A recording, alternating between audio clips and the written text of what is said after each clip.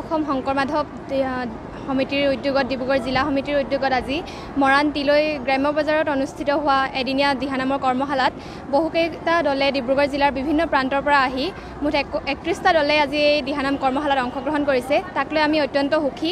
যিমানখিনি আশা কৰিছিলোঁ তাতকৈ অধিক সংখ্যক দলে আহি ইয়াত অংশগ্ৰহণ কৰিছে কৰ্মশালা ভাগিত। আৰু বহুতো নামতি আই মাতৃসকলে আহি ইয়াত উপস্থিত হৈছে। সুদূৰ ঠাইৰ পৰা তেওঁলোক আহ, আগন্তুক সোতৰ ডিচেম্বৰত গুৱাহাটীত অনুষ্ঠিত হ'বলগীয়া দিহানামৰ যি বিশ্ব অভিলেখ তাৰ বাবে তেওঁলোকলৈ মই মোৰ ফালৰ পৰা লগতে আমাৰ দিহানামৰ আজিৰ যি কৰ্মশালাৰ উদ্যোক্তা সমিতিৰ তৰফৰ পৰা তেওঁলোকলৈ শুভেচ্ছা জনাইছোঁ।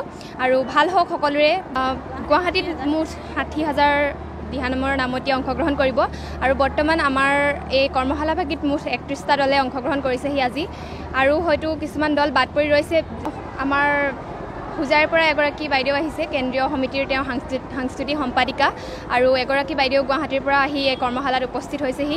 এটি সুন্দৰ মুহূৰ্ত আজি তিলৈ গ্ৰাম্য বজাৰত ডিব্ৰুগড় জিলাভিত্তিত বিভিন্ন ঠাইত এনেদৰে দিহানামৰ যি কৰ্মশালা অনুষ্ঠিত কৰা হৈছে অহা সোতৰ ডিচেম্বৰত বিশ্ব অভিলেখ সৃষ্টিৰ কাৰণে প্ৰায় ষাঠি হাজাৰো অধিক দিহানামৰ প্ৰতিযোগীসকলে গৈ উপস্থিত হ'ব তাতে আৰু তাতে বিশ্বৰ অভিলেখ ভংগ কৰিব।